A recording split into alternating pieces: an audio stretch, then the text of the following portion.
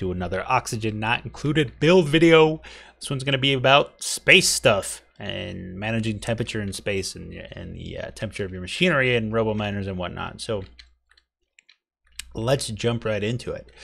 Um, so with all the research I've done on this, which is not a whole lot, mind you, um, I realized that there's pretty much only two ways to cool things down in space, and that's either liquid or gas with drywall behind it.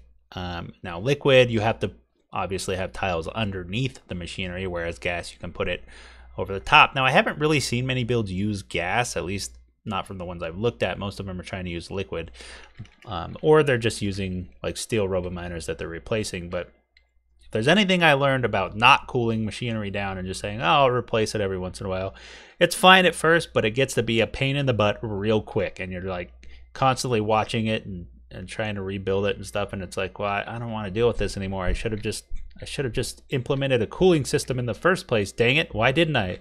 But whatever. Uh, so I decided to go with gas. And the reason behind this was that I have these natural gas generators in my current base, um, like in the legitimate game. Obviously, this is debug, but uh, this is pretty much exactly how I have them set up. Now, the Wheeze are, yes, in the tile, but that's again because we're in debug.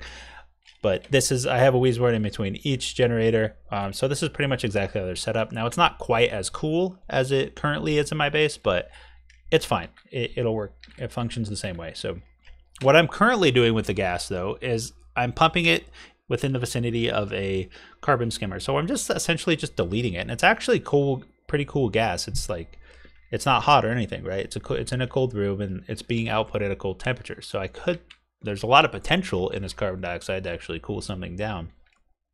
So instead of just sending it sending it to a carbon skimmer and deleting it, uh, I thought maybe I could use it to cool down my robo miners in space and deal with the regolith problem up there and stuff. So this is the system that I've decided to go with. So we've got our main carbon dioxide line coming in here and you can see it's actually backing up. So we're generating more carbon dioxide than we're using with this system, although you could adjust that to use more. Um, and we've just got a, a main sort of dispersion line all the way down here. You could obviously run this across the entire top of your base or wherever you want this. And then we've got a valve set to 5 grams a second. Each valve is set to 5 grams a second. We have one valve for each uh, Robo Miner. Although if you have multiple pieces of machinery, like I don't know if you had something underneath it, like a liquid tank or whatever, then you could you could just up the amount that we're outputting here, and it would be able to cool down you know multiple pieces of machinery. And we've got one of those for each Robo Miner. Um, and then uh, RoboMiner is sitting on insulated tiles, so we're not transferring heat from the doors down to the gas. Uh, so the only thing the gas is cooling is the RoboMiners, not the doors themselves. And then once that gas heats up, it's sucked out into the vacuum of space. So we're just essentially deleting that hot gas, getting rid of it. I know we're kind of throwing away carbon dioxide, but who really needs more carbon dioxide? Seriously, are you, if you have a base right now and you're like, dang it, I just don't have enough carbon dioxide I wonder where I can get more. You've got problems, my friend, because I have never had that issue. And I would love to see that base because you're doing something either right or wrong, depending on how you look at it. But uh, let's go through the system uh, and the automation.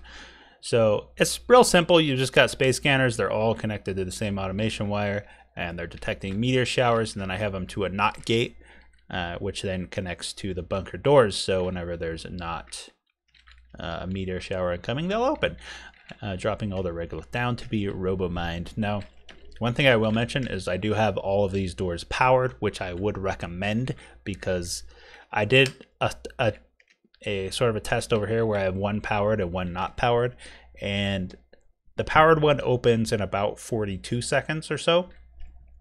The unpowered one, I went like three minutes. I was like, okay, this is way too long. But I, am assuming it would take around five minutes because it was about halfway open at that point. Um, not exactly sure ex- how much, but around five minutes, I would say, if it's unpowered. So that's a long time. So you don't have to power them, but I would suggest powering them if you can. And then I guess that's pretty much everything. I, I will mention the shove voles. They're not really an integral part of the build. I was just trying to test out uh, how would they how they would function. So essentially, if I just dumped all my shove voles up here, and you know this was all metal, then they could climb out and stuff. But if this was like all pretty much covering the entire top of my base, obviously there's some areas I would want saved for rockets and whatnot. But um, then the shove voles could just like roam this roam this glass area and, and, eat all the regolith. And even if they like pop through the bottom and drop their egg, the egg can't get out once it hatches. The only place it has to go is back up. So, you know, the shove voles are kind of contained in this area. And I don't currently have shove voles on my map, but I, I'm probably going to add them because I do have quite a bit of regolith building up, and that's pretty much the only way to delete it without you know using debug. Um, but yeah, so this kind of contains the shove voles, and I'll probably do a little more research and testing with the shove voles before I actually implement those. But the main idea with this was just cooling down the the stuff in space, and that's kind of the main idea behind this video. Uh, the solar panels aren't actually connected right now. I was just showing that it'd be pretty easy to slap some solar panel underneath. Obviously, you would have to have some cooling for them. So potentially, you know, drywall behind the bottom tile with liquid coming out at one end and then being sucked out into the vacuum space on the other, or just being recycled. You know, you could use polluted water and then sieve out the heat or whatnot. So I haven't done any testing with that. This was just to show how to cool the robo miners because this is like the first layer, right? We got to get that first layer set up before we can actually work on anything under that.